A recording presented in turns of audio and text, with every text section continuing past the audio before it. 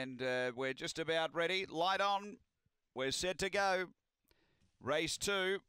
Ready here at Angle Park on their journey. She's got Smiles hopped out sweetly. He's going to poke up and grab a comfortable lead out by nearly two. Uh, Demo Boy, the reserve, chasing through to second, and then Flying Poet. Next, Blue Baboon, Sabon Zadie, and Dear Annie. They run to the bend. It ran up the track here. She's got Smiles, and uh, Demo Boy darted through. Flying Poet through late. Demo Boy in front, too good. Demo Boy's beaten. She's got Smiles, might grab second from Flying Poet and Sabon Zadie. Then Blue Baboon and Dear Annie back at the tail. Time here, we stand by. It's around the 20 second mark after race number two. And uh, Demo Boy for Des Hockley gets the race to race double. Two down, two winners for Des. Nine, two, seven, and eight.